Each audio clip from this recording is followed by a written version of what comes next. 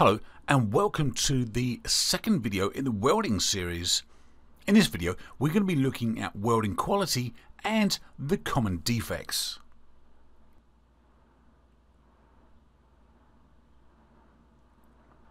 So let's have a look what we mean by welding quality.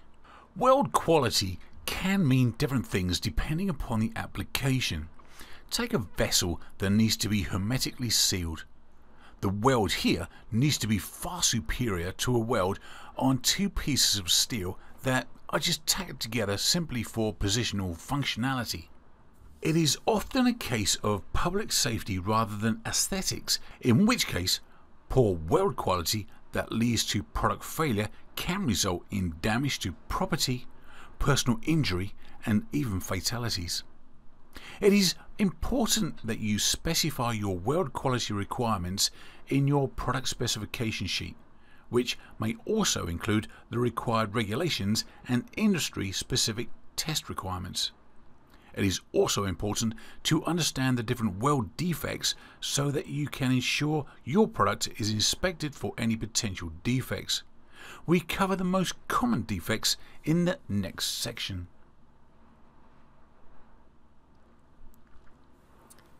To start with, let's have a look at weld porosity. Now, weld porosity is just a cavity or a void in the metal caused by excess gas being trapped inside the weld. These cavities will reduce the overall strength and integrity of the weld joint, thus reducing the quality of the weld.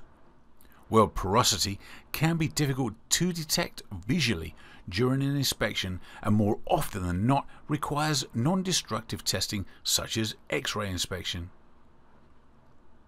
How to avoid porosity? Well, you need to make sure that all surfaces to be welded are prepared correctly and kept clean. Check the gas flow. The more gas, the more turbulent the air becomes. Ensure all the equipment is in good operational condition. Leaking hoses can cause inconsistent gas flow. Here we have a typical weld porosity sample. Lack of fusion. The lack of fusion is where the weld metal and the base metal do not fully fuse during the welding process.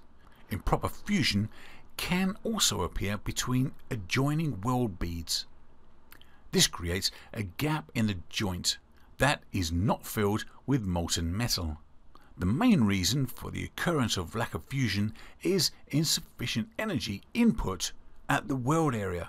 Consequently, the parent metal in the weld groove or the previous made beads are not heated up to the melting temperature that is required for the metal to mix with the material and make a uniform weld. How to avoid lack of fusion. The main reasons are too narrow a joint preparation and incorrect welding parameter settings, poor weld technique and magnetic arc blow. Lack of fusion is shown here and you can see clearly that there are a number of areas where lack of fusion could occur. Weld distortion. Distortion of metal during a weld is very common due to the slow traverse speed and high heat during the welding process. This distortion can lower the quality of the weld joint as the metal needs to be reprocessed to correct the distortion. This correction can put stress and strain on the weld joint. On the right we show the different distortion types. Before welding, make sure that the material to be connected is straight and the tack weld is strong. You must have a qualified welding sequence. Inclusions in the weld. Inclusions occur more commonly when welding thick materials, ones that require several passes, particularly when using flux coated core rods. Each weld pass generates slag that covers the weld pool. If this slag is not removed before additional passes are made, it can enter the weld. When slag enters the weld, it can cause contamination and therefore weakness. How to avoid inclusions. Make sure that every interrun is clean. To prevent a slag inclusion, make sure the electrode angle is correct. Weld undercuts.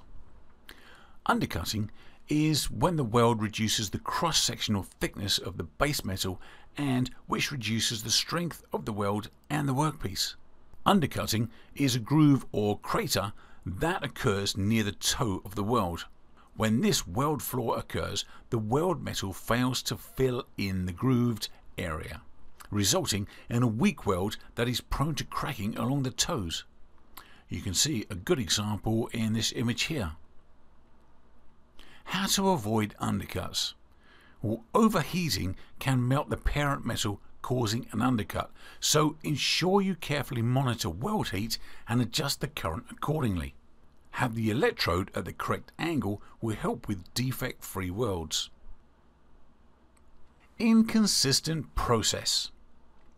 Inconsistent weld process will result in a poor quality weld.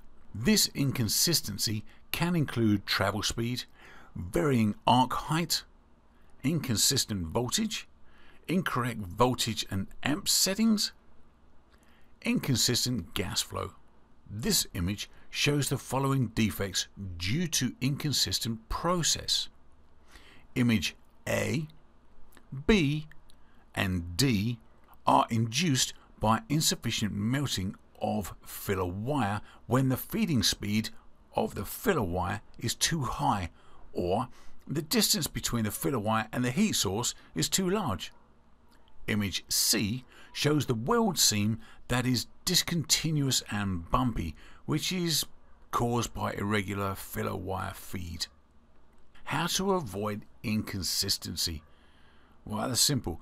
You need to ensure that you follow best welding practices and always follow the welding specification document guidelines. Arc strikes. Now, arc strikes are marks on the workpiece where an arc has been created unintentionally. These arc strikes are not just unsightly, but they can also have a detrimental effect on the steel structure as the metal is heated and cooled rapidly, which can cause the metal to become brittle, which could be a stress concentration point for a crack to propagate. How to avoid arc strikes? Well, access to welding should be easier. Periodically check the electrode holder and provides a place to put the electrode holder. You can see these unsightly and potentially dangerous arc strikes here.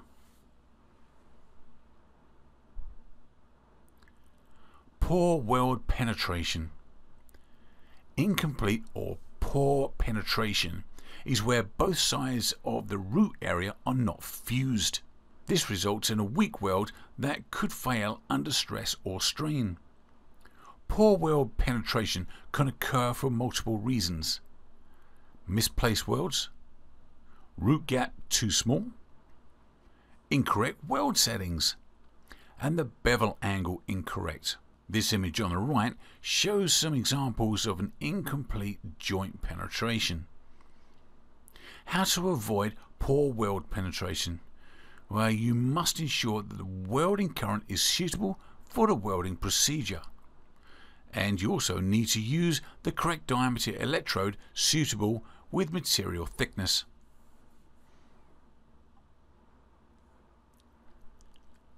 Cracks. Now let's have a look at hot crack and cold cracks. There are two types of crack defects when it comes to poor weld quality hot cracking and cold cracking. To start with, let's have a look at hot cracking. And this occurs when the metal gets too hot and remains hot in the solidifying stage. If the stress is too high during the solidification stage, cracking will occur. So, how do we avoid hot cracking? Well, we need to reduce the heat input during welding which lessens the time for segregation to occur. We need to modify the joint design so the depth to width ratio is not too great or too small. And make welds with more throat thickness or that are less concave. This image here on the right shows us various different stages or placements which cracks could occur. Let's switch over to cold cracking. This could occur instantly, minutes or even hours after the welded joint has been completed. This type of defect is caused by a simultaneous combination of three factors a tempered structure, uh, hard and fragile, residual mechanical stress related to clamping, for example, and the presence of diffusible hydrogen in the weld bead. Again, we're looking at this same image where the cracks could occur on the right here. So, how to avoid cold cracking? Backstepping the weld is one way to help prevent cold cracking and it serves as a type of stress relieving. To perform this technique, you 1. Weld in one direction for a short length.